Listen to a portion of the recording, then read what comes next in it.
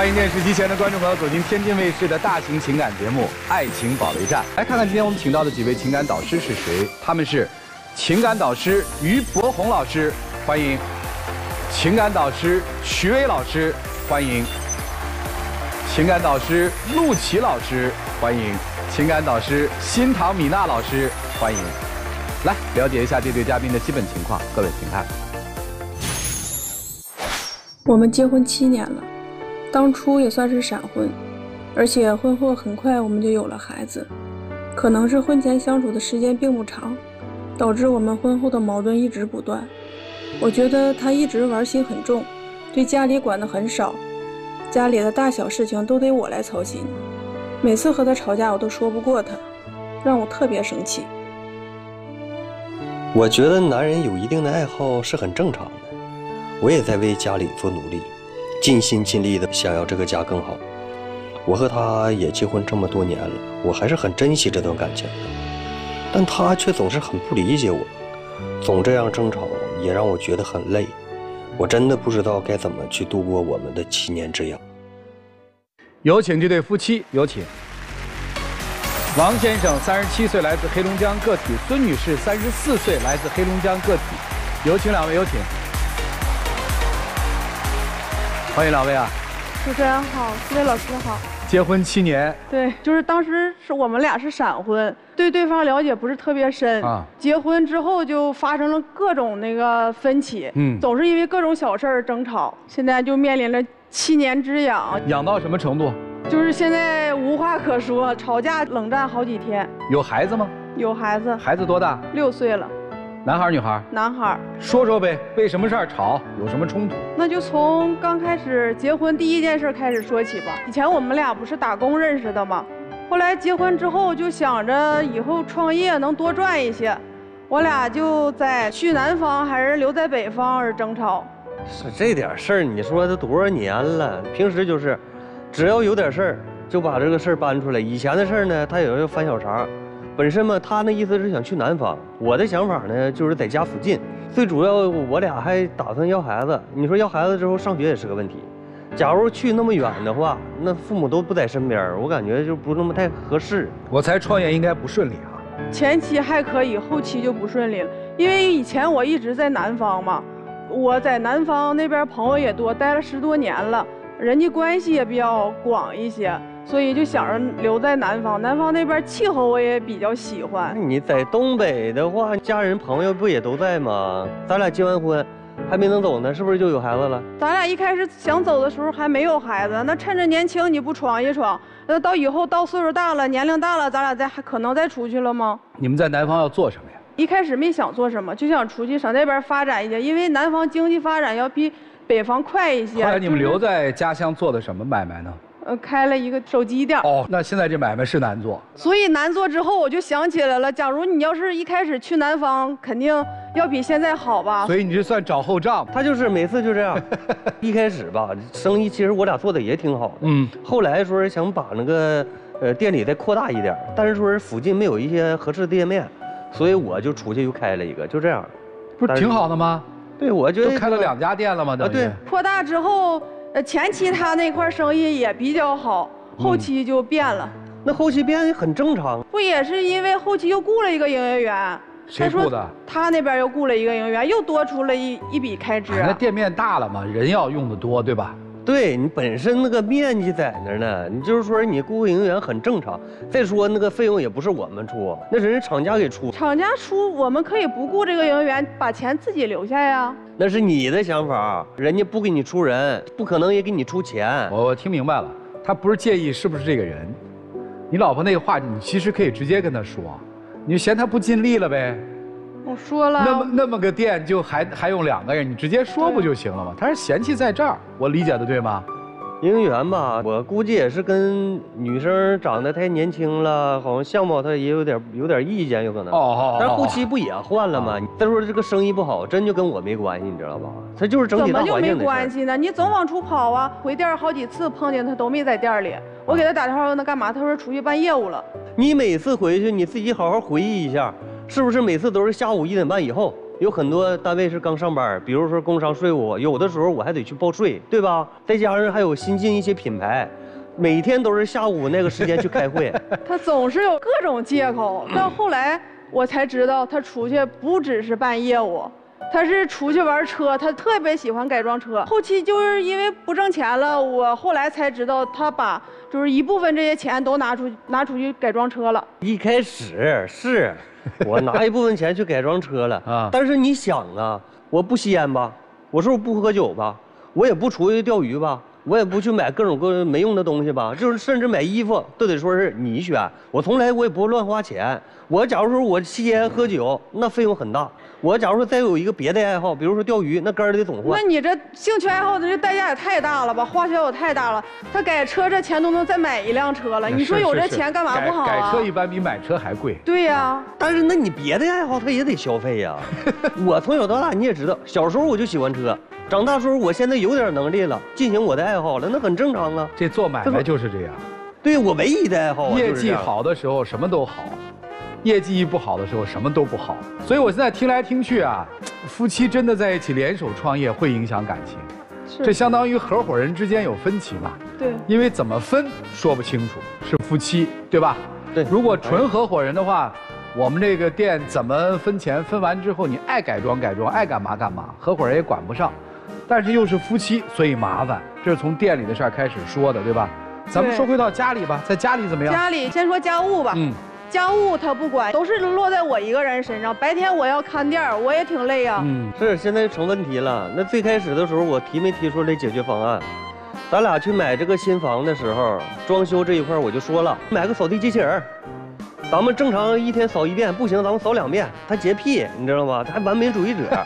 然后这样的话吧，嗯咱们回家之后是，你要是懒了不愿意干了，你就咱们就不做了，这样的事儿直接就把这问题解决了。然后人不同意啊，一开始吧，家务我也做，嗯地我也扫，也拖，但是呢，男的心多大，边角旮旯这些地，拖他一点都不干净，这儿拖完了那儿就那儿就不拖了，有的时候就能看见这一片地儿都没拖地。对，所以你说就是我能想法。我能不生气吗？那我也不是故意的呀。那你不拖地不打扫卫生，你可以做饭吧？饭你不也不做吗？那为什么以前恋爱的时候你都能做饭呢？婚后之后你就不做了？以前做饭那是咱俩打工的时候认识的嘛，后来不在一起了嘛。然后那个时候咱俩天天点外卖，我就觉得说是想给你补充点营养。但是后期你这也是悟性高，后来做做饭之后你也学会了吗？学会之后，然后你做那饭的确好吃啊，比比我做的好吃啊。然后那你就多做呗，我也不是说现在一顿都不做，我就是做的少点儿。那是我做饭，你可以刷碗吧？你起码能干一样，是不是？你看又回到以前的问题了，每次就是。你反正现在这偷懒已经是偷的比较高级了。我做的不好，我就不做了。谁做的更好，谁做，是吧？对他要我，我是这么想，他要求高。啊那洗碗也是，洗完之后第二天拿出来再用的时候，说看见里头有油渍了，又这又那的。然后我当初我也提出解决方案了，买洗碗机哎，对对对，不是洗碗机用了以后确实不吵了呀，确实挺好的呀。它嫌费水。我测了一下啊，洗碗机是比手洗，就是咱们自己洗要省水。是吗？当然了，那你看，人家最主要人家还说了，洗洗碗机洗的不干净。洗碗机洗的老干净了。洗碗机就是别买太好的盘子。那不说家务，说孩子行吗？你知道现在的孩子也很难管，他不就喜欢玩改装车吗？嗯孩子也喜欢，嗯从小就受他的熏陶，挺好呀就是上课都不注意听讲啊，走溜号啊，老师都找我了。不上课溜号跟他喜欢改装车是两回事儿吧？老师说了，你家孩子就是上课的时候怎么研究寻思车呢？现在就是成我问题了，孩子的爱好是我熏陶的呀。那你平时还没甲呢，你有的时候还摆了摆了那些娃娃啥的呢，家里咱们抓的那个。你这不在这强词夺理呢吗？那一个男孩能去喜欢美甲吗？也有啊。我问个核心问题，这儿子到底谁在管我管的比较多一些，啊？那就行。为这个家，我就认为我付出的多一些，他也在就是参与的特别少，我就感觉有他没他，啊我感觉没什么用啊哎。呀，现在中国很多年轻的女性婚后都这么说。哎呀，我怎么觉得我是丧偶式的婚姻啊？有他没他都没用，对吧？对呀是吧？没他反而更轻松，家里少一个人，嗯不用去絮叨，对不对？对我管孩子，我怎么要求还没人拖后腿，对不对？对是这么想的吧？对，你说刚才那话题，他说我没用，那没用，那家里那些什么马桶坏了，或者是灯需要换灯泡了，那这些东西不都是我做的吗？不是，他们会这么说。这一年能坏几回、啊？对呀、一年就那么坏那么一次，有的时候甚至一年都用都都对对对换不上呀。你要买灯泡买的好呢，三年还不换。对呀你看看。很多反正就是经常就发生这些事儿吧。行就是知道了，就是嗯在家庭琐碎的细节上面，妻子觉得付出多，觉得丈夫没有付出，丈夫觉得委屈，嗯对吧？有一次他出去旅游了，嗯，回来之后呢，孩子生病他也怪我。那你说那孩子本身年龄小，那抵抗力低，他就说孩子有病跟我有关系。没关系吗？他平时玩游戏的时候，他能成宿成宿玩。那你说孩子生病了，我要照顾孩子，他呢，他在这倒头呼呼的睡。哎，这都是死仇啊！咱们这个家里面的事儿大概知道了，就是双方可能都不太能看到对方为家庭的付出了。还有什么让你们觉得不舒服吗？对孩子学习这一块吧，要求特别高，感觉他就是家里的老大。嗯，假如说让孩子说是你马上去把衣服穿上，必须得五秒之内执行，嗯不执行呢就怪孩子不听话。比如说今天我说我想去刷车，他说不行，今天不能去，有可能明后天下雨。啊我就行不行，我今天就想去。然后万一真下雨了，他就说了，你看我不让你去，你非得去，下雨了吧？你哎就这样你你你这心思也够细腻的了啊！这事儿也是个事儿吗？他就总是这样啊，啊，就是小肚鸡肠。你也不怕自己老得快，这点破事儿你也管，你也累还不落好，还有别的吗？我没什么太多的，今天是他非得解决我们这个问题。不是，你就把你心里的苦说出来，不用好面子。你们这个婚后双方两个家族的关系怎么样？啊，你要不说这事儿还好点儿，一说我就想起来一件事儿。嗯他妹妹比他小个四五岁，现在也是到谈婚论嫁的年龄了。嗯，然后呢，对方要求这个妹妹拿十万块钱嫁妆，对方呢是拿多少多少钱，然后呢，人家就答应了。答应之后呢，这个钱是我出，我不理解这个钱为什么要我出。对呀、那我答应不也是为了当时咱俩恋爱的时候，你不就说孝敬父母吗？我因为我家里我是老大，我父母没有那个退休金，他俩手里攒那么两万块钱，还留着以后养老用呢。那你当时说承诺我的，以后咱们一起赡养老人，这不也是变相的赡养老人、孝敬老人了吗？你现在这个问题不是说咱俩赡养老人的问题呀、你说，那你假如说那你说他假如现在结婚需要这笔钱，我父母拿不出来，是不是得出去借？那咱俩要手里有，咱俩可以拿呀那。你现在问题出的不是说是必须得拿这笔钱，那你妹妹去考虑，他们两口子他们处对象的时候，应该爱情大于说是金钱吧？他俩去考虑说自己家庭什么情况，对不对？然后最主要现在说是你提到孝顺父母，我平时对我老丈人、老丈母娘多好啊。说难听的，假如说他们生病了或者怎么样，那我肯定我是把所有钱都能拿出来给他们治病，这叫赡养。假如说他们现在想旅游，我拿着钱去带他们旅游，这叫孝顺，对不对？你现在是你妹妹说是需要拿十万块钱去结婚，我是孝顺父母还是孝顺你妹妹呀？这不是变相的孝顺吗？不是这个事儿，你跟他商量过吗？商量了，他不同意啊，后来呢？拿了一点儿，就不同意，怎么还拿了呢？那不拿也不行啊。那人家男方又买楼又装修，咱们不可能一点不陪送吧？你不陪送了，我妹妹到婆家也直不起腰来呀。你拿完钱，你妹妹直起腰来了。我现在我感觉我腰疼，我直不起来了，不是那么回事儿。那没办法呀，这钱已经拿了，那你现在说出来有啥用啊？是现在说就是这个事儿，真的说实话，他那个对象他就是油嘴滑舌的，天天给你妹妹画大饼。我我拿这钱我都闹去，我一看他不是过日子的人。那以前没研究结婚的时候，你为什么不说呢？说这个男的怎么怎么不好，现在说研究结婚让咱们拿钱了，你说他不好了，那你早干啥去了？我不是为你家好吗？我这不是怕你妹妹上当受骗吗？我这不该拿谁拿了好了吗？好了好了，听明白了，最后拿了多少钱？拿了三万块钱，本身我们条件不咋好。拿了就行了，姐姐心意也到了。他总说人家男方不好，那你说日子是人家俩过是吧？人家俩过日子，为啥让姐夫拿钱呀、这不是前期结婚吗？对呀、那你当姐姐的你不得？对对对对对，行，那他是不是真的对你父母很好？平时还可以，对。啥叫平时还可以就是除了这个方面，拿钱的方面，别的对着也挺好的。但是你说就因为这方面，你去老去说我父母，那你说他家也有做的不对的地方啊。他家咋了？因为当刚刚开始闪婚嘛，所以就是对他父母不是特别了解。他爸就是特别能喝酒，一天喝四顿酒。我后来我就劝劝他，我说的你那个这样喝酒对身体不好。嗯就是他家就他一个孩子嘛，那以后赡养老人肯定也落在我俩身上，他也遭罪，我俩不也是负担嘛，是不是？嗯但不劝。我劝了，那你说我劝能当你面劝吗？当你面劝就相当于这想法是你说出来的，那你们以后咋处了？我的确我说了，人我爸回答我了，说怎么的？你是不是怕以后我老了，这酒钱你们两口子掏啊？那我就没法多说了。主要是他总喝酒，他影响咱俩的正常生活了呀。老爷子喝酒怎么影响你们的生活了呢？孩子刚满月的时候吧，有一次，他爸就喝酒，半夜才回来，正好赶上我要起来给孩子冲奶。冲奶，他爸说你别起来了，我去冲去吧。冲完之后拿过来，我这一闻，这个味道它也不对呀，用白酒冲的。你说这也把我气的。你们现在是跟你父母住在一起啊？嗯，我们一起生活。婆媳关系怎么样？就因为这些喝酒的事儿，总那个。啊。嗯。那今天来要干啥呢？就是现在争吵，慢慢的感情也。也淡了嘛，嗯，对婚姻看不到希望了。说实话，我每天我在工作上也挺糟心，也挺烦，每天我也得看人脸色，天天我就低三下四的我在社会上生存。然后呢，每天下班，我自己我真的说实话，我在自己在车上我得待半小时，嗯，我去调整我的心情，我不想把我的负面情绪回来带给他。然后我好不容易调整好了，我上楼了，人家屁股。盖盖脸来一顿啊！几点下班啊？咋才回来呢？然后我好不容易调整的心情，一下子又崩溃了。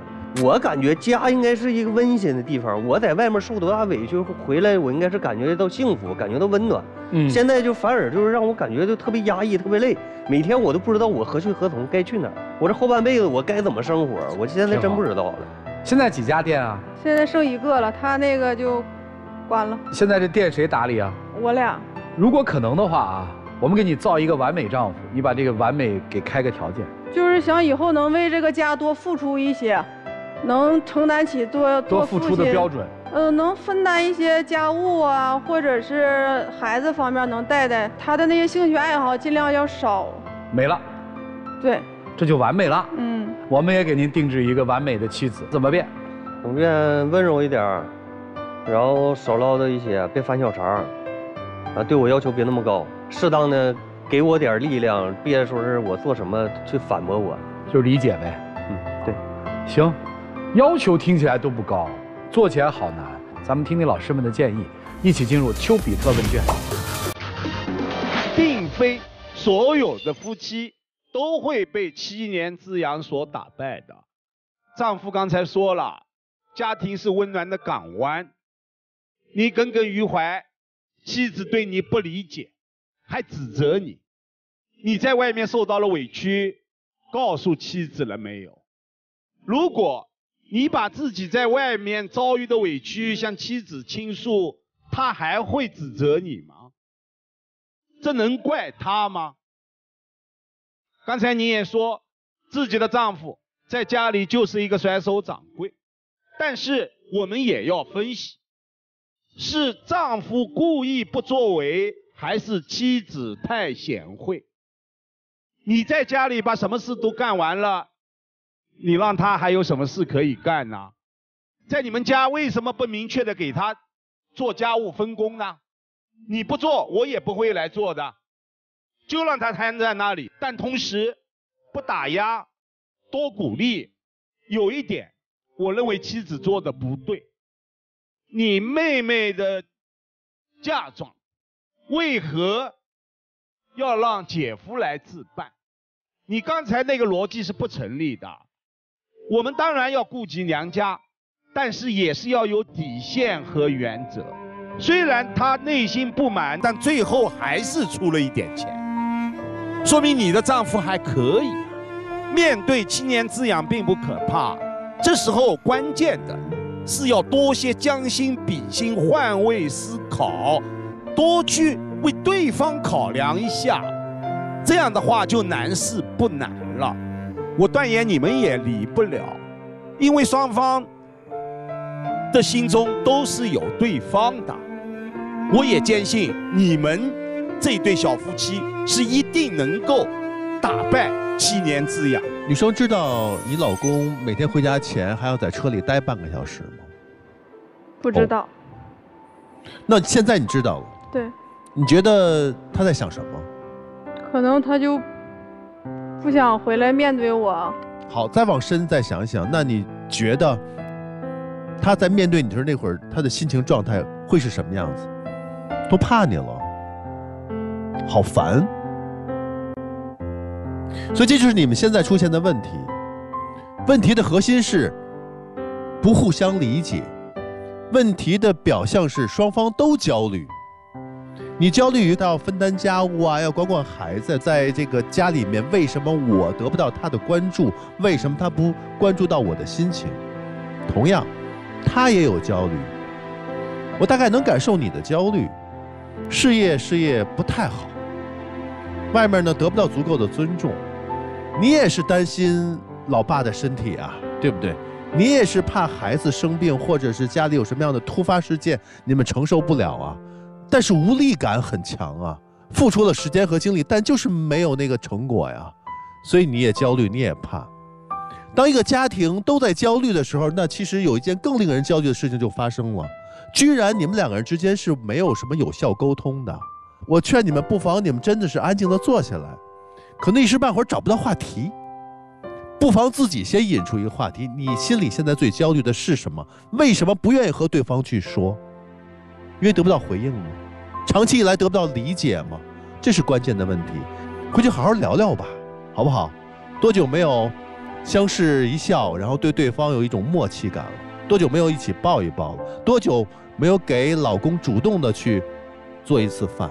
主动？你多久没有突然也露一手那种冲动了？好不好？就这样。他每天在车库待半小时，这个话你第一次听见对吧？嗯，对，我也第一次听见。他说我在车库里面每天都要待半小时，下面一句话说的是什么？我忘记了。你你根本没听嘛？他说我要平复，我在外面太太受气，我平复一下心情，低声下气的在外面。我回家换一个去面对我要平复一下一天的心情，才能来面对你。你第一次听见，我也第一次听见，我记住了。你有听他说话吗？你们出现什么问题啊？三个问题。第一个就是我刚才指出的，你们没有相互聆听。就他他说的那个什么话，你其实没有真的听到；你说的什么话，他也没有真的听到。这是第一个问题。第二个问题是你们没有好的沟通的方式。打比方说，岳父岳母今天有难事儿过不去了，来找你帮忙，你帮不帮？帮。你岳父跟你说，我今天要去外面找别人借三万块钱，女婿你能不能借给我？你借不借？借。借了之后，你要不要求他们还？嗯，那还还啥呀？那 那好了吗？这不是一回事儿吗？你听懂了吗？就你的沟通方式不对，你为什么跟他说这是给我妹妹的嫁妆？这不是给你妹妹嫁妆啊，这是你妹妹要从你爸妈那边拿钱，你爸妈没钱，没办法了，所以我来跟女婿借钱，是不是这么一回事？好，那他们开不了口，让你这个女儿来跟女婿借钱，对不对？那我问你个问题，他三万块钱拿了是不是？对。你爹妈感谢他了吗？感谢，当他面感谢的吗？没有。所以嘛，他做这个事情的意义何在呢？如果他爹妈喝着小酒跟你说：“女婿全靠你，我们家这个事儿风风光光办下来了。”你高不高兴？高兴。你觉得这钱是不是给的值？是不是就这么一回事？你看啊，你当时怎么让他做饭的？是不是夸他来着？嗯，对，我说他做饭。对呀，你不是一直夸他来着吗？但是你之后有多少事情上在夸他？今天你站在舞台上夸他多少句，他辛不辛苦？你告诉我他辛不辛苦？没夸。肯定辛苦对吧？又要赚钱，又要带娃，又要做家务，又要做饭。你们家还有俩老人呢，还要照顾老人。对。那你平时又怎么夸他了？没有，没你在平复了心情之后回到家，你有夸他吗？有给他一个拥抱吗？没有吗？你想让他做事儿，你用的都是指责、批评。比较，所有的都是暴力沟通，对不对？你越是暴力沟通，不是越把他往外赶吗？这个时候，我们能不能用一些柔软的方式？我知道你不行，你知道为什么不行？这就是我说的第三点。其实我们八零后这一代人，我们小时候活得并不差，小时候父母也是宠的，也不干活。结果长大了，结婚之后那么多琐碎的事情，所以带来个什么东西？事儿都不是大事，带来的是情绪的压抑。你现在是被情绪吞没了，所以你说不出好话，你全是抱怨。我一直说夫妻是什么？夫妻是相互之间的支撑。支撑是什么？我知道你有情绪，你脾气朝我发。你有脾气的时候，我带着你出去哪玩？不会。你老婆身上有多少情绪？她站在台上，我都能看出来。你老婆就是属于那种活全干了，不落好的。为什么不落好？因为她那么多的情绪没法宣泄之后，只能朝你输出。朝你输出之后，你明明知道你很辛苦，但是你憋在嘴里面了，你一句话都夸不出来。所以你看是不是恶性循环？你因为你的情绪去抱怨他，他因为被你抱怨了，所以他对你所有的夸奖夸不出来了。恶性循环。所以很简单一个道理：先把情绪宣泄掉，然后在彼此之间，在日常上面多倾听、多沟通、多帮对方干点活。双方之间把对对方想要说的感恩的事儿说不出口，给他写下来，写下来之后又落在实处，变成一个实际给对方的东西，慢慢慢慢把这个情绪给宣泄掉，争取早日走上正向的循环。就这样。听完你们，然后再听完我们三位导师发言之后，我憋得胃疼。快别憋着了，你们居然都感动他的什么上楼前车里待三十分钟，我们女人怎么没有啊？我们也上班的，我们还要带娃，我们怎么没有什么所谓的放空圣贤三十分钟啊？然后我就坐这儿想，那就是车惹的祸吧。如果没有车的话，大家都是坐公交车或打车的话，还会在楼下待三十分钟吗？找什么理由呢？我一想，嗯，对，过去的时候，男人们也会在楼下待一会儿，他们会抽烟。然后理直气壮地告诉老婆说：“我放空一下，何不把烟味儿带回家？”然后我又在想，那个时候女人在干嘛？她们下了班挤完公交车，拎着大包小包，她们在楼下待一会儿了吗？她们为什么不需要圣贤三十分钟？因为她们要回家做饭，要管娃，知道这一夜忙碌的生活开始了。要什么三十分钟？你也配？然后动不动什么家是港湾，他是那港湾，你是那船是吧？你是那船，你出去自己挣钱啊！你别让他养家呀，你别让他工作啊！既然你们是两艘船，什么是港湾？家是港湾，难道不是互相给的港湾吗？凭什么要女人光在这里温柔？做男人的回来了以后理直气壮的，洗碗我不爱，做饭我不好吃，辅导孩子我脾气不好，我爸我管不了，要你干嘛？他为什么今天站到这里的简直是毫无生气？因为整个已经被压垮了。你要他什么温柔啊？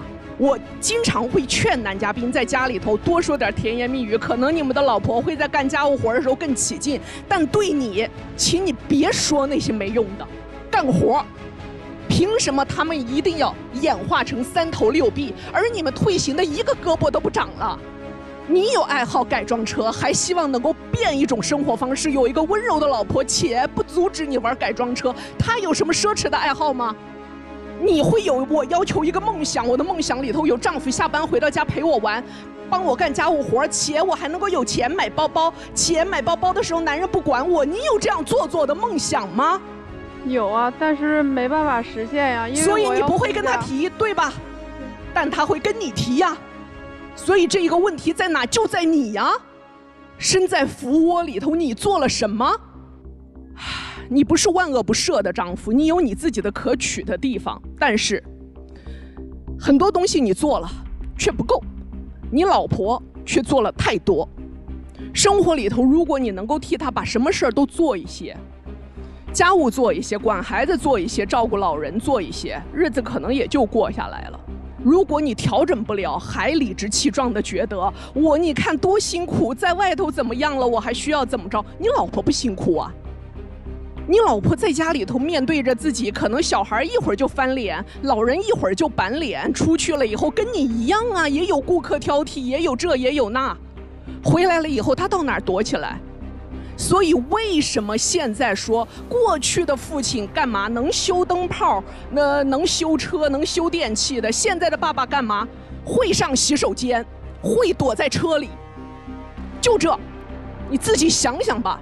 米娜老师非常愤怒的那关于那三十分钟，她愤怒的不是那三十分钟，她愤怒的是现在男人在家庭当中的不担当。关于改装车，咱不配，为什么？其实到这个年龄的时候，我们是要阉割自己的很多的。这跟你有没有钱没关系。有了孩子，男人就没有爱好了，真的没有爱好。我的所有爱好全都丢了，不是要丢，就是没法不丢。因为你正在做一件事的时候，那小崽子过来给你弄一下，你你你，你还能继续吗？你就仔细想。呃，最后就是总结一下，陆琪老师说到了沟通，记对方的好。米娜老师叫当头棒喝，他当头棒喝就是，哎，咱确实没那么多的权利，啊，咱确实没那么多权利，收手收手。剩下两位老师其实都说了嘛，还好，那我们看到的都是希望和光明，我们就希望你们能活在今天，开心的活好今天，放松一下，都太紧了，好累啊他们。来，一起进入真情六十秒。假如我们能以后少一些争吵，嗯，多一些理解，我们可以换一种方式去沟通。我把我的一些毛病、不好的习惯也改一改，也希望你能改一些，那样我会考虑考虑我们的未来。通过主持人还有各位老师的点评吧，然后我感觉我自身也有很多问题。咱俩最主要就是两个人在一起缺少沟通，缺少有效沟通。然后我的一些问题呢，那家务还有孩子，我以后我尽量多带一些，多做一些。然后我也希望你能对我有一些认可，不要每次把我想象的那么不堪。然后我也会尽自己最大努力去改变大家的生活。好，以后试着理解你多一些。白说了，活在当下。夫妻的事儿，翻篇了吗？加油！谢谢两位，请回。谢谢老师。谢谢了，请回，请回，请回。电视机前的观众朋友，欢迎登录优酷视频、腾讯视频、爱奇艺、搜狐视频收看节目的完整内容。来吧，肯定是双出，肯定双出啊！妻子最后都笑了，不再是面如死灰了。行了，我们来看看他们俩相见的时候，怎么好好的在这个当下享受片刻的那种时光。来，请开门。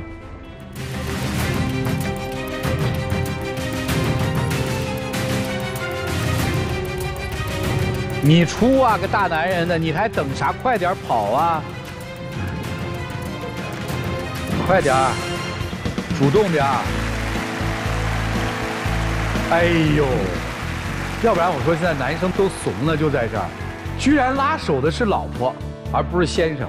来，我们一起见证属于他们的浪漫时刻。各位，请见证。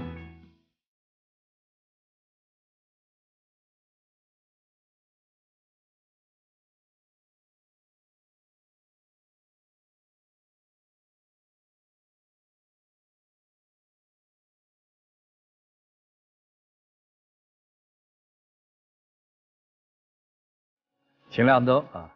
开开心心的啊，就把今天的日子过得好，每一件小事都过好就 OK 了。谢谢两位，加油，加油，加油！谢谢你们，请回，请回，请回。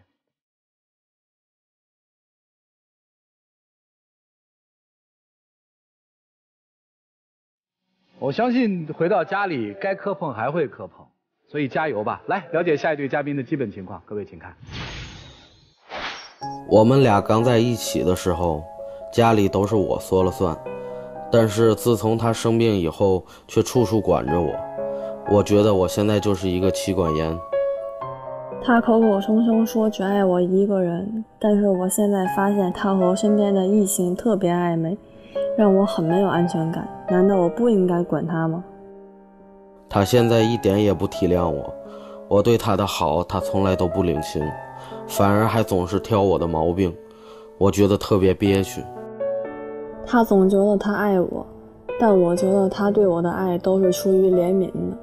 我需要的是真诚的爱，他却给不了我。有请这对情侣，有请。男嘉宾小刘，二十四岁，来自天津，酒吧舞台总监；女嘉宾小张，二十三岁，来自天津，奶茶店店员。有请两位，有请。欢迎两位哈，今天来干嘛？怎么说呢？感觉他跟以前完全。不一样了，嗯，然后一直在生活上也好，很压迫我。还有我现在就是对他的很多好意，这都完全当成驴肝肺了。要寻找回那个曾经的他，是吗？是的啊，那就说说都发生了一些什么吧。大概十个月之前吧，嗯他是得了一个病叫红斑狼疮，哟，免疫系统的疾病。可能也是有一些压力吧，就是当时没多长时间就跟我提分手了。嗯，然后我觉得没有什么必要，又不是感情方面有问题，嗯这个困难还是可以克服的。我当时就拒绝了。嗯，自打拒绝了之后，他这个性格呀，还有就是对我的态度转变特别大。打比如说，他当时吃激素吃的比较多，嗯然后掉头发掉的挺厉害的，嗯，我就心想体谅体谅他们吧，陪他一起共进退。当时我是长头发，有那个图片主持人，您可以看一下。我们看一看啊。哦，好酷啊！因为工作原因，我是在酒吧工作嘛，可能形象啊还有外在方面酷酷更个性一点。然后我就心想给他剃了，给他个惊喜嘛，就啊陪着他。结果他没有说感觉到惊喜，却是骂了我一顿，我就很不理解。为什么骂不是你说他非得剪了，好几年头发没了，我觉得他形式主义太装了。形式主义太装了。就是我干什么他都能生点气。就打比如说 那时候算是他病的中期吧，病情恶化了，当时就需要做一个检查，叫那个骨髓穿刺。哎呦，那个特别痛，那个特别的很疼，而且本身就特别娇气，跟杀猪了一样，鬼哭狼嚎的。我平常挺坚强的，然后当时就没忍住掉眼泪了。我进去了之后，他就看见我也哭了，劈头盖脸的就又给我骂了一顿。我都已经那么疼了，我都够难受的了，他还在那哭，我都想让他把我当没事人一样。啊！你当时就骂他，骂他什么？一个大男的哭啥哭呀？他那个感觉现在很很委屈，我背骚你没惹你，对吧？我实在憋不住了，那我没有办法。他就觉得我好像就跟虚情假意的似的那种感觉的。他在病中那个人的心理和他心态就希望说我不要啊提他这个病，然后我我说行，不提病了，聊聊人生大事吧。啊，然后呢人生大事是啥？他以前特别在意就是结婚啊、家庭这方面的事情。嗯我以前说实话对这方面挺反感的，因为嗯我挺喜欢自由点儿的。我就想是啥呢？我也当时跟他说了，回头。整几身正经点儿的衣服，然后呢，因为平常、啊平常那个形象比较个性，人嘻哈嘛。对，啊我说跟父母聊聊这个未来的事情，还有结婚的事情。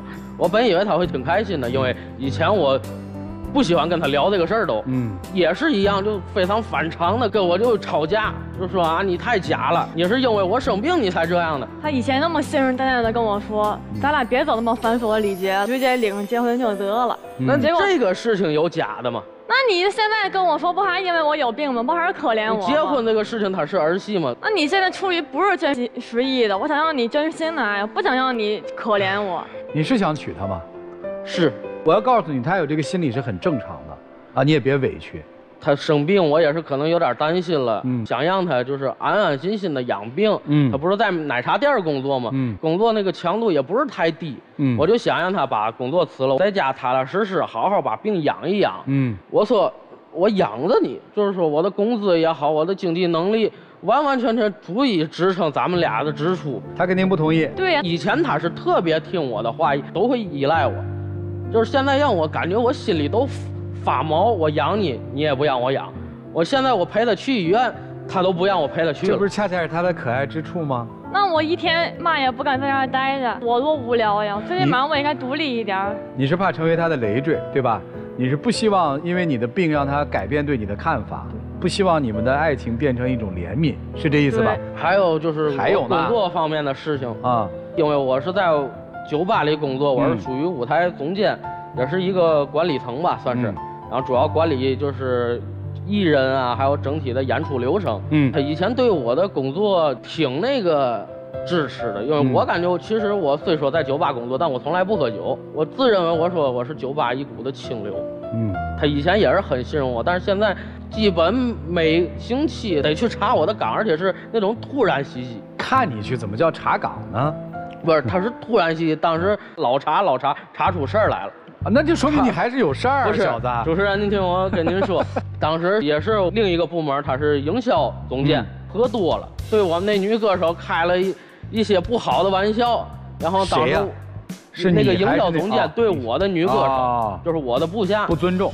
然后呢，我当时也急眼了，他管我那个女歌手管他叫媳妇儿，他喝大了。嗯，我也当时也可能有点上头，指着他鼻子骂，我就说干嘛你嘛意思？我说全舞台部女的是都是我的媳妇儿，知道吗？谁也碰不得。当时就快打起来了都，然后最后拦开了，这事儿也就算了。他突然蹦出来了，我都不知道，把我拉到一边，啪给我来一下子，给我一下给我弄懵了。为啥呀？那我当时当着我的面喊别人媳妇儿了，那我我还忍着，后面我也跟他道歉了，他一直揪这个不放，但是他不也是他做错了吗？那不也是他太过分了吗？表述界限不清。说实在话，这也就是他换成前对象这个事儿，我立马我就跟他断了，绝对不可能。所以说他多有魅力就这个事一直在我心里，就是是当时他也跟我道歉了啥的，但是在我心里一直是个刺儿。所以他现在是不是就不放心你了？嗯。你看，自打这之后，就是包括我的耳闻，我的公司现在传出来的声音就是，那谁家里有条母老虎，是个妻管严，导致就是我在公司挺没面子，说实话。就就这一一件事儿就传吗？还有呢，因为我有时我的团队我会组织一些团建，团建，对，联系联系感情嘛。然后以前他都很放心，现在的就必须要跟着。那回就也是我手底下的一个小兄弟喝大了。秃噜出来个事儿，这有什么事儿？一个女同事可能对我有点别的情感吧，啊，就喜欢你呗？对，应该是吧。啊，然后抱着我就开始哭，我就是就委婉的拒绝了，我也给人家推开了，都能做证明。然后呢，可能还是上头了，亲我惦记，然后呢，我就下意识躲开了，嗯，并没有说让他得逞。然后这事儿就让我那小兄弟给秃噜出来了，也喝多了，然后就让他听见了，跟我玩命打。这不是第一说明有人喜欢他，你男朋友有魅力；第二说明你男朋友拒绝了呀，这是好事儿啊。那他跟我说一声最起码呀。这个事儿我怎么跟您说？我说跟你臭显摆呀，我还是。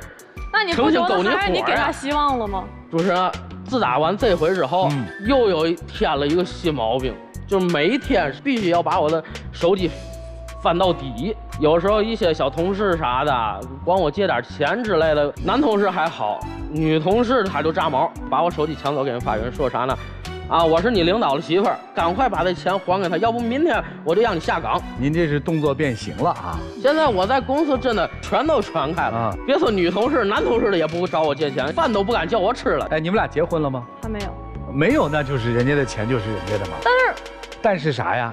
那他也应该跟我商量一下。为啥要跟你商量啊？那我有嘛事你又不是他老婆。那我有嘛事都跟他商量。那是你愿意啊？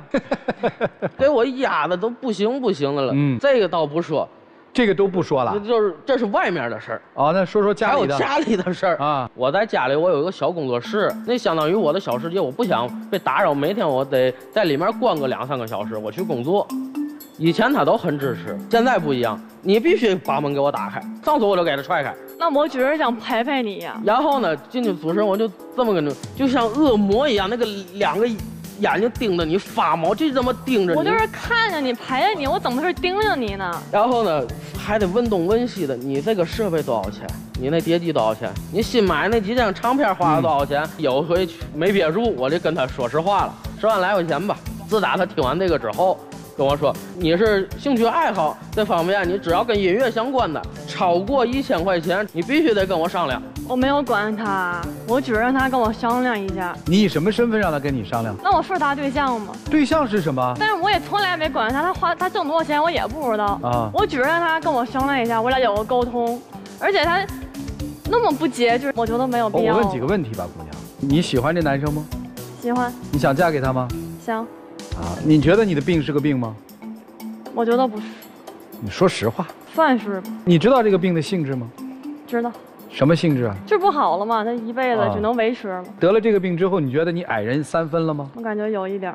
你在这怕他跑，对吧？对。你又想拉住他，又想推开他，是吧？啊，你觉得你配得上他吗？现在？配不上。啊，那你能告诉我为什么现在你这么在意他？就想把他抓住了吧。那你觉得你纯粹是因为生病的问题？还是说，其实你的本性里对这个男生从事的职业，对这个男生的工作环境，对这个男生就没有那么放心。可能以前也是有一点儿。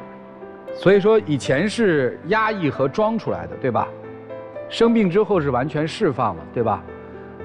因此，所谓生病而带来的心理变化，只是很小的一部分，更多的应该是你本性里的东西，对不对？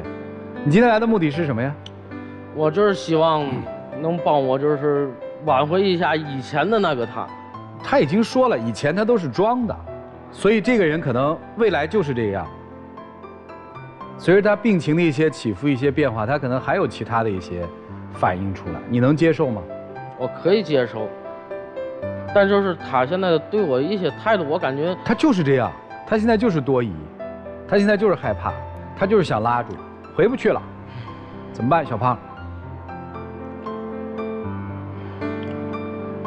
我可以接受，能接受就别抱怨。那下面的问题又来了，刚才我问到一个问题，他是你什么人？姑娘说是对象，所以我说他没有权利管这些。你们未来会结婚吗？会。结婚之后，她可就是你妻子了。结婚之后可以。打算什么时候结？我的预期是越快越好。嗯。你为什么拒绝结婚？我就觉得可能还不稳定吧。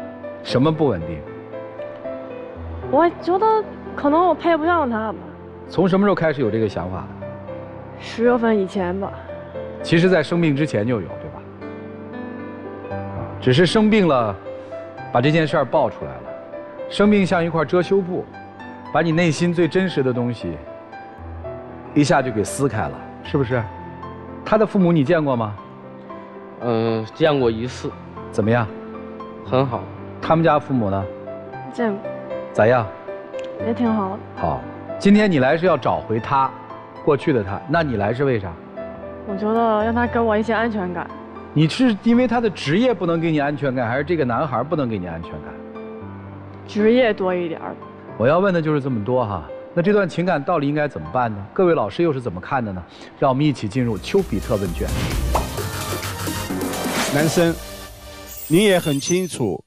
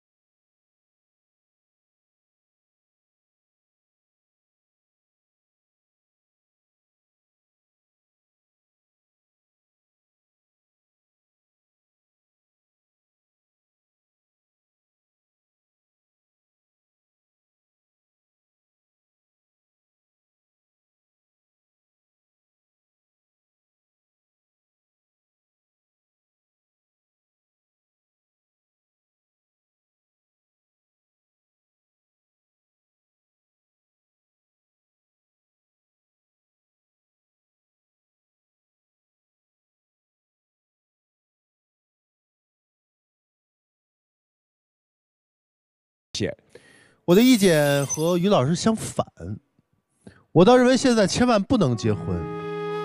如果现在结婚了，女生，你会分不清到底他对你的是同情还是爱情。男生很明显是一个性情中人，但正是因为你这样的一个情绪化的人，你会做出很多让自己也不能预判到结果的事情。比如说，那个女同事居然能抱着你哭，还要亲你。你认为都是你同事的问题吗？